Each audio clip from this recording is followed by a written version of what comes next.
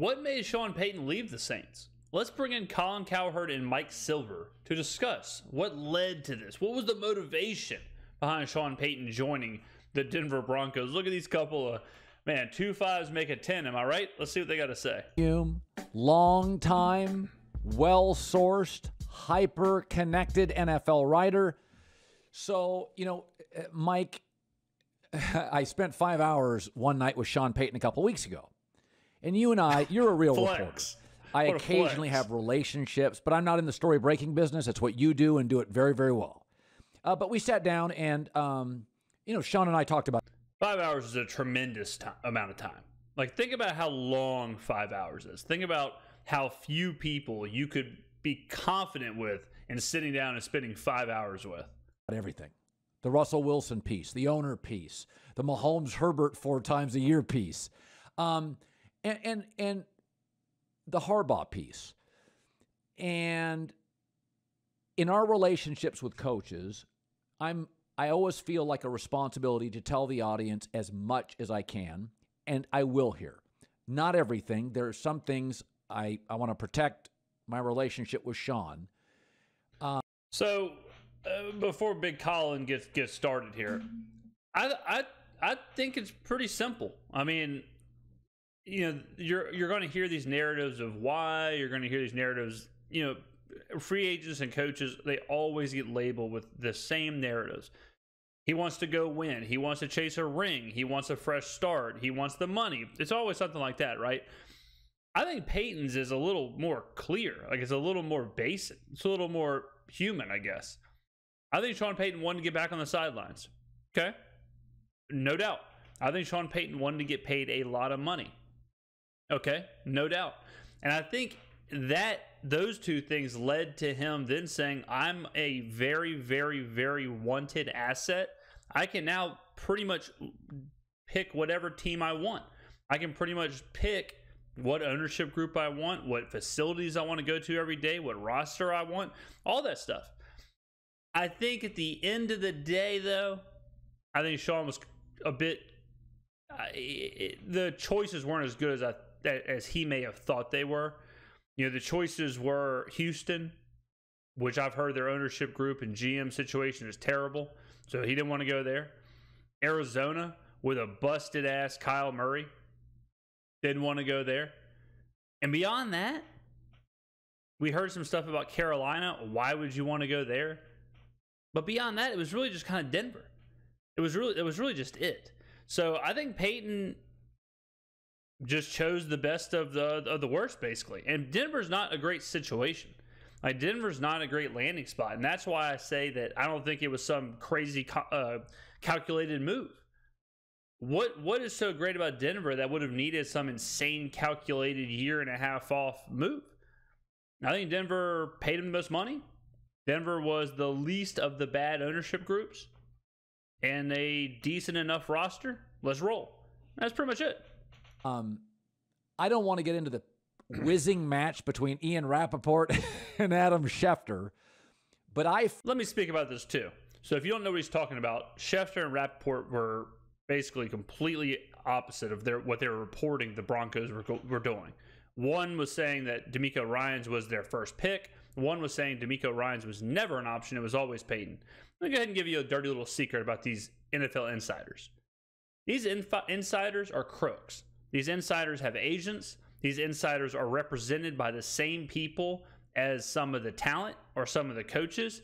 And I can go ahead and tell you, I can go ahead without a shadow of a doubt, tell you that insiders make up stories and make up narratives to drive trade value, to drive contract negotiations, to to move leverage around. I promise you it happens all the time. These guys are incentivized to do that. And I think sometimes they say, "Hey, I heard uh I heard blank team is interested just like the Justin Herbert stuff with the Bears. The Bears were never ever ever going to trade Justin Herbert. They probably t- I mean, not Justin Herbert, Justin Fields, excuse me. The Justin Fields stuff. The Bears were never. I can already see someone typing in the comments. You mean Justin Fields? I caught myself. The Bears were never going to trade Justin Fields, but they leaked that maybe we're interested. Maybe Fields isn't our guy. I wouldn't be surprised if they sat Fields down and said, hey, look, we're about to release this stuff. We're going to try and trade it. Don't believe it, whatever. I wouldn't be surprised at all if they had that conversation. I don't know if they did for sure, but that's what happens in sports. These, these people, these Adam Schefters, these Ian Rapoports, these whoever, they are not just tried and true big J journalists doing their job.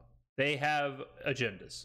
Felt when I had dinner with Sean Flex. very strongly that he was the coach, that he knew there were obstacles, and I felt but sh- Compensation, this is my takeaway that you were going to have to pay for Sean because this job is not easy. There's some good stuff. It's not a rebuild, but the Russell Wilson thing is real.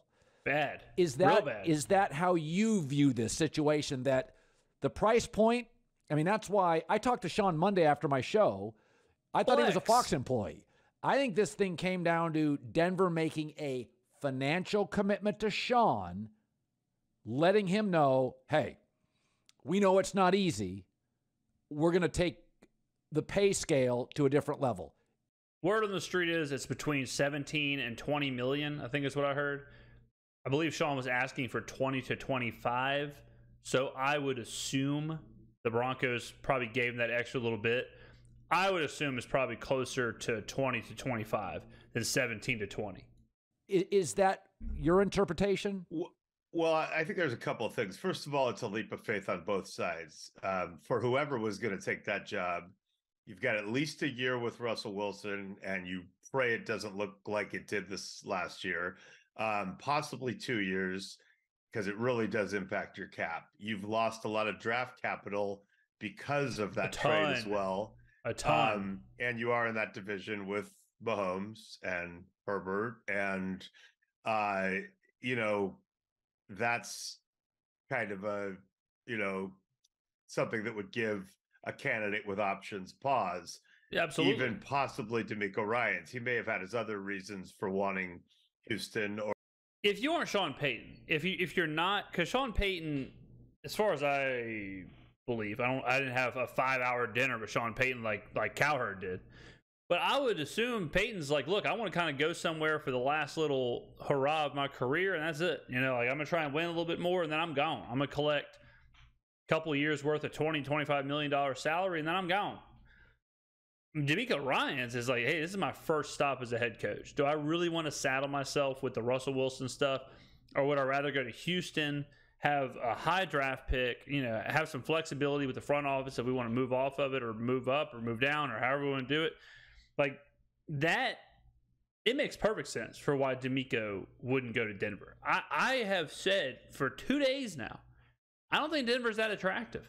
And like Colin said, this Russell Wilson thing is real, my friends. They have a ton of draft capital and money tied up in Russell Wilson and now tied up in Sean Payton. They basically have traded the farm for Russell Wilson and Sean Payton, one of who just had the worst year of his career. So if Russell Wilson, they won five games this year. If they improve by three wins and they win eight games, miss the playoffs, that's an improvement but it ain't enough when you leverage the entire franchise for two guys, especially when one guy is getting, or when both guys are getting older, but when one is tied dramatically to his physical capabilities. And then I hear all this stuff about, well, they'll just cut Russell Wilson, they'll just eat the money. And then what? You don't have any picks for a rebuild. You're going to cut him and do what? You don't have a pick. You, you traded all those away. If you, I mean, they're they are hard stuck. Uh, th- that cannot be understated. Now, there's a chance. Uh, there's a chance that Sean will get the best out of Russell Wilson. Will Russell Wilson ever be an MVP candidate level player again? No. And can you win in that division without an MVP level quarterback? Would an average Russell Wilson be good enough? I don't think so. or he may have had the choice made for him and just read the the tea leaves. But um, that was one thing. If you're looking to hire Sean Payton, uh, you know the price tag is high. Uh, you have to give up Got to make the draft trade. capital. Yep. That's especially sensitive if you're the Broncos because Yep. you just gave up all what that I just draft said, Michael. capital That's what I just for said. Russell. You got the one back for Chubb. You're giving that away now. Um, if you're the Texans, you could say, ah, we've got draft capital. We got all that Deshaun Watson loot. Uh, but you are necessarily, you know, weakening yourself. So you're giving up draft capital, you're giving up money. Now, that was a strength of the Broncos' job. Uh, they The do money. have lots of Yeah. money. They do have the Russell issue. You know, George Paton is a very, very well liked GM. I think if Sean was going to uh, come in somewhere and turn the GM into essentially a director of player personnel, um, you know, George is someone that you could see that relationship working out at least in the short term. Uh, he, he's super well liked. He goes with the flow. Um, but you know, my read on the Broncos from afar is that they knew that Sean was expensive, both in terms of draft capital and money. Um, and they knew that he came in with a little swag. He wasn't kissing the ring of the Walmart and I'll tell you this. Another thing, if I could choose, if I'm the Broncos, and I could choose Jim Harbaugh without having to trade anything away at a much lower price tag, or Sean Payton with all they gave up, I'd probably go Harbaugh. I mean, like, I just don't know if Sean. He definitely has that swagoo that uh, Mike is talking about. He definitely is going to come in very braggadocious. Sean's a prickly pear, but man, I mean, this is a tremendously difficult task that he that he is getting. Now, he's certainly getting compensated for it. You get paid twenty five million dollars a year. Hey, I'll I'll try the hardest job in the world, but mm, Oh wow! I just want to, you know, he's basically saying you should hire me because I'm awesome. Um, so you also had to go down parallel paths before you decided whether you're going to do that, and it just seemed to me that at least the public-facing side of it. Remember, these are the richest people you know there Yep. are, and they're not used to really being criticized like, say, NFL owners normally. Mike, I said that last week. I've been saying that on my videos for the last two months. You got to remember who the hell these people are. They are billionaire owners of football teams. They are in a 32 person club, a 32 ownership club. And if their team is getting their ass kicked and they're the laughing stock and they hear about it in ESPN and they hear about it on Twitter and they hear about it from the fans and they hear about it from all those people, if you don't think that that throws them for a loop, these guys haven't lost, and women haven't lost in their life. And now they're losing on the grandest stage of it all. These people are the most fragile, egotistical people on the planet. So I'm not shocked at all that the ownership ownership group of the Broncos, after getting their ass kicked and getting laughed out of the building every single game, I'm not surprised at all that they said, you know what, whatever, we'll give we'll give Sean whatever the hell he wants. Which is why, for the past week or two weeks, I've been saying on here, Loomis has to play hardball. And all the people in the comments were saying, You're not going to get a first for Sean Payton. What makes you think that they would give up a first for Sean Payton? I always know. to get criticized. And people are looking at it going, well, you asked Harbaugh. He said no.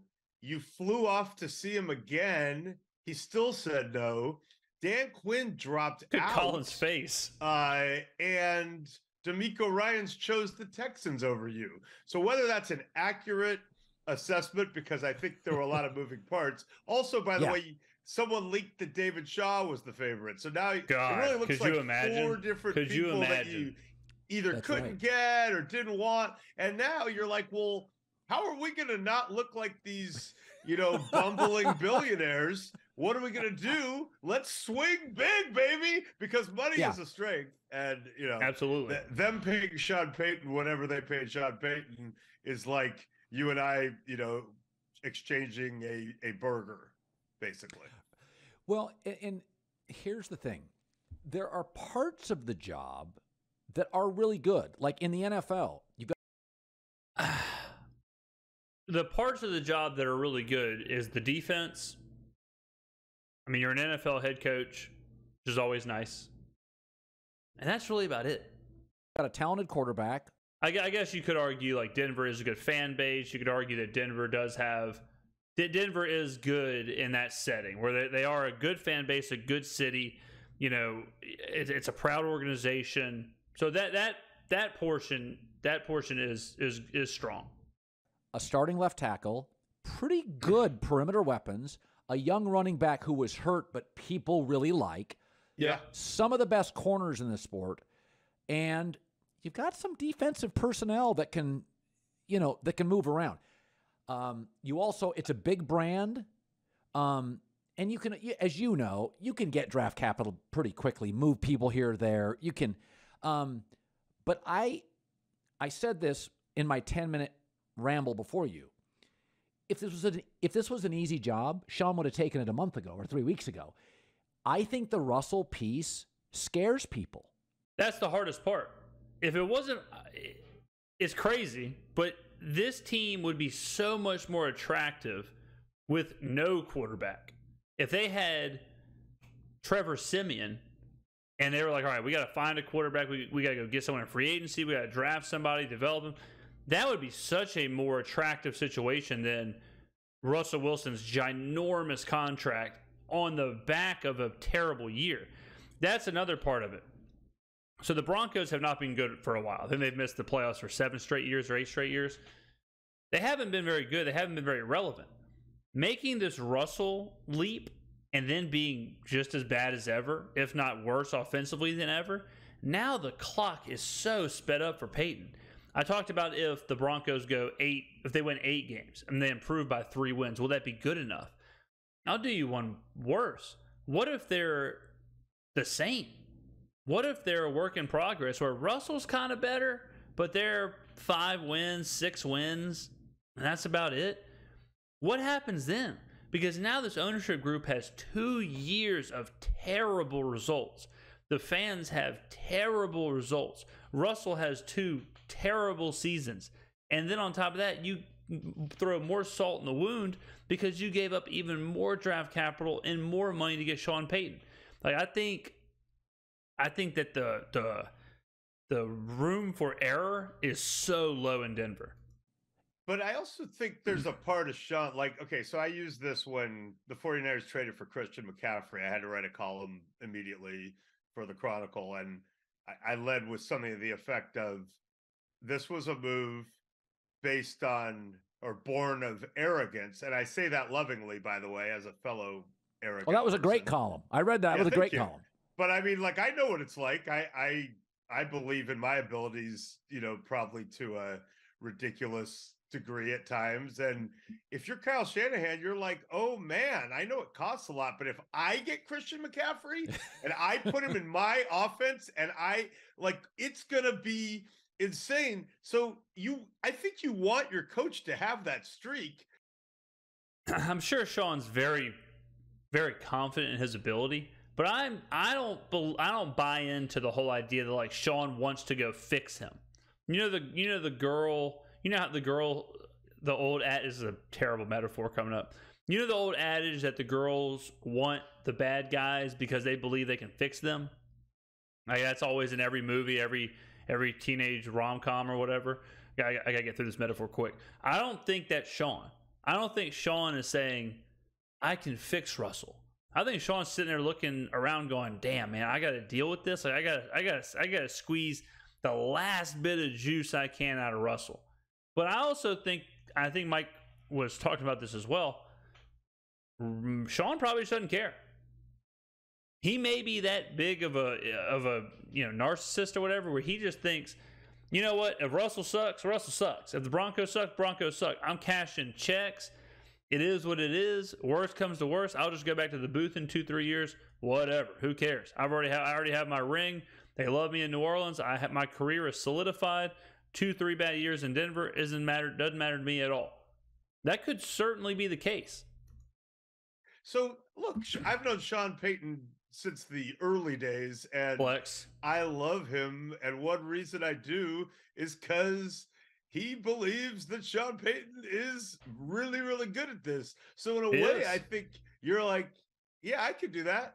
And by the way, like there might be more attractiveness because everyone thinks it's a bad job and everyone thinks Russell can't be salvaged. And if you you struggle at first, people might give you a little bit of a lead, you know, a little bit of leeway there. But if you don't and you come in and you know make the playoffs next year, people are going to go, Sean Payton, man, look what he did. You know, and Doug Pederson just kind of did it. He had an easy division, but you know, Sean Payton is one of the absolute best in the world at what he does. For sure, he knows hundred percent. And his knowledge of that is part of what makes him who he is, and that's what you're. It is a low risk job for Sean because Sean believes that his career is set. If they make the playoffs, it's going to be so much praise heaped on him. And if they lose, Russell Wilson's probably going to take a majority of the flack. So, in that sense, yeah, it's not a bad gamble for Sean, who really can't lose in the situation and can gain either even more legacy building. At the very worst, he just gains $20 million a year. Okay. So, um, one of the things that is a reality, um, and Colin's whole background just changed. What just happened? Because I haven't been offered this level of money, but sometimes you just get offered money you can't say no to. Oh yeah, and um, I, you know, we we've seen coaches take jobs, and I've seen actors do movies. I'm like, this is absurd. What what are even uh, from a non-celebrity standpoint? I have friends. Hell, I took a job five years ago or something like that, strictly for the money. Didn't work out, but it was at that time something I couldn't say no to.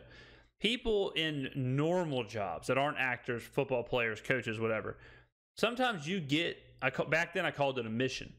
Like you know how missionaries get sent out for two years, they got to do what they got to do to get to heaven. That's how I felt. I was like, man, I just got to do this for a year, two years, catch some checks, and then we'll figure something else out. And then COVID hit and changed all that. But it happens in real life.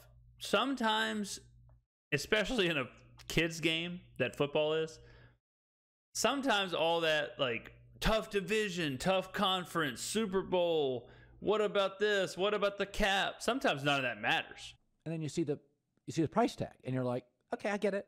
I understand it." Um so I believe that what the Broncos paid Sean Payton, and this is why Harbaugh came in again. I think I think Sean liked working in television and knew next year you've got two great college quarterbacks who are both guys that can start. I think in the end, and it won't come out maybe for a while, could this just have been, you know, 25 million a year? I'll figure it out. Yes, that's exactly what I'm saying. I think people want to hear Sean wants to change Russell Wilson. Sean wants to fix Russell Wilson. Sean's the NFL or the quarterback whisperer. Nah, it's human nature, baby.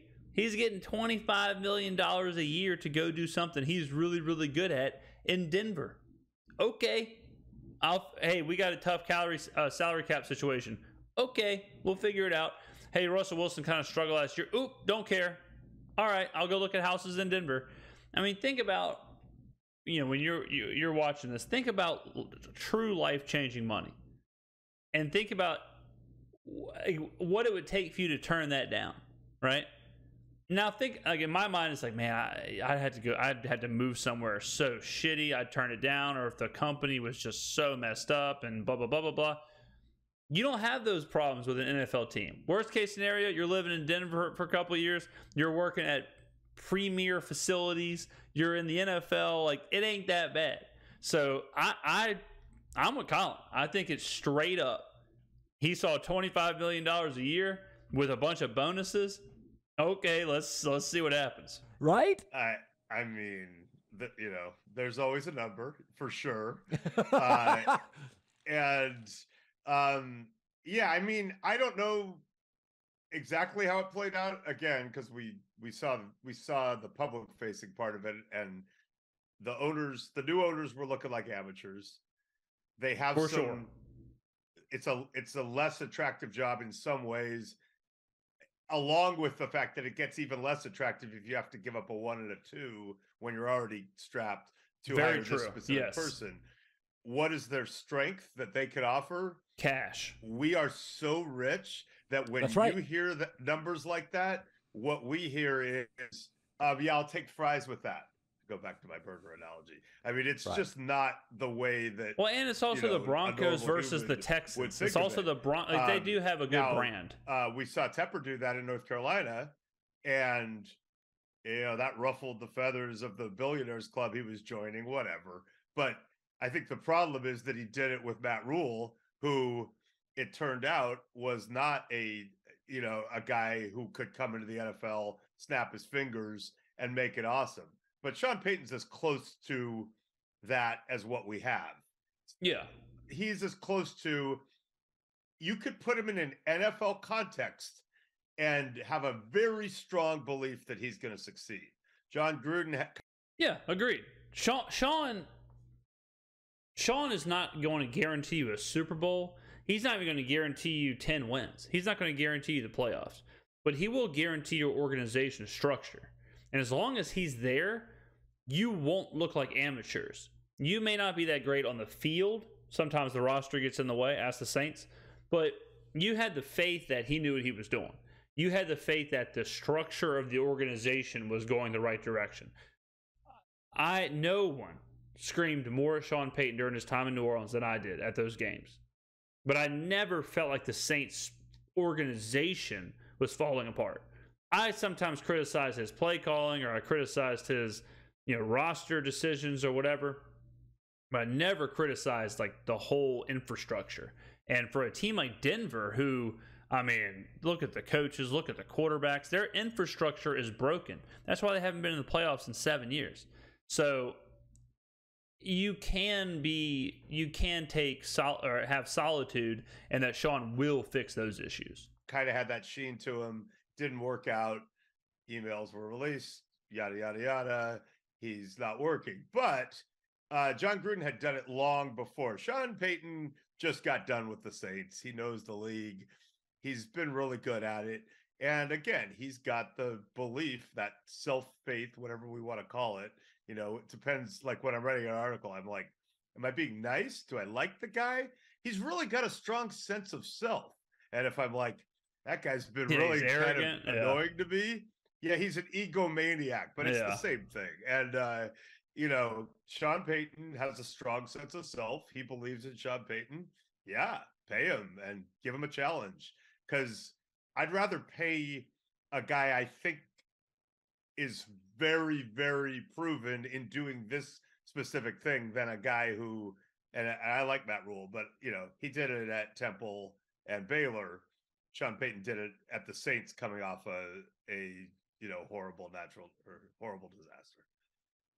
I will Yeah, say well this years ago, Tony Romo. I heard this story about Tony Romo Oh, and this should be Jerry. Jones like 20 years ago or whenever it was, 15 years ago, that they were negotiating. And Tony Romo said, Listen, I'm going to make you overpay for me because then I know you're committed to me. Hmm. And I think I think that was Sean Payton's one of his really strong hands. Yeah, we're going to reset the market because people That's a strong hand for Payton s- specifically in the situation because you also have the tug of war with Russell Wilson. So if they underpay, like pretend you're Sean Payton, and you get underpaid or just market value, I would think, shit, they may cut bait with me if if Russell says if Russell says, hey, get this guy out of here in ten months, I could be fired because they're way more invested in Russell Wilson. So in Sean's situation, it even it's even more important to know like, hey, look, do you do I have your buy-in? Do are you committed to me? Are you committed to Russell? Are we the same? If stuff goes south, do I got to worry about my job? So getting overpaid like he is getting overpaid, that tells him, look, we are all in on you, totally separate of the Russell Wilson stuff, which I would assume is going to bestow a whole lot of confidence in Sean Payton when it comes to the ownership group. People as rich as you, I'm a rounding error if I don't work. Yeah. If it, it, so, I want it to sting if you got to write a hundred twenty-five million dollar check.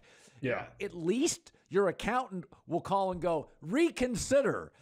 So I Well, Yeah. Well, I mean, that's why Jed York, to his credit, after Harbaugh's gone, then Tomsula one and done, Chip Kelly one and done. When he finally settled on Kyle, was like, I'm giving him and Lynch six year deals. you know, which is way high for first timers because I'm just making a statement to, to them and to everyone. We're done with this one and done thing. By the way, Jerry, here's the brilliance of Jerry Jones, or some people would say it's not brilliant. I thought it was. Um, after T.O. came to the Cowboys and the infamous push up or, you know, sit ups, sit ups in the driveway. And all yeah. that. But that dispute in Philly was a you're not paying me what I'm worth. You know, that's what fueled T.O.'s, you know, drama. And Jerry Jones is like, I'm going to get his money right and I'm going to get the best out of this guy and I'm going to show him that his money's right. And I, you know, in, in essence, I'll overpay because I, I think his psyche will change so much. This particular guy, um, you know, and Jerry overpaid for the stadium because he was trying to make a statement to right. the world. He thought the stadium would become a, an event in and of itself. And if it sounded even more expensive, that was a win, you know, and yeah. practice facility too. So, uh, you know, and those of us who don't have billions to make statements with, you know, can only theorize about these things. But I, I do agree with you. I think I think he's hundred percent correct. I could not agree more. I've said it a while. Mike nailed it right there you show Sean something, and you know you're you're betting on a guy who uh, thinks that he's one of the few people, if not the only person, who could actually fix it. And I get it. That's cool. Mike Silver, great stuff. Good stuff. I mean, good stuff from both of them. Uh, we're on the same page here. Uh, we're seeing it pretty clear. I got a feeling. I got a feeling the people at ESPN may say things differently. I think they may be spinning a couple more yarns, but it's cut and dry, ladies and gentlemen. He got $25 million to go coach in Denver. So let me know in the comments below, ladies and gentlemen, what do you think was the driving force behind Sean Payton going to the Broncos? Do you think it was to fix Russell Wilson? Do you think it was to go win a championship? Do you think it was for the challenge of fighting against Patrick Mahomes every every uh, twice a year? Or do you think it was a little different than that? Let me know in the comments below. Thank you for watching. I appreciate it. The links to this video will be down in the comments below if you want to go watch it again. Uh, but why would you now that I have, you know, broken it down so eloquently? I'll see you in the next video, ladies and gentlemen.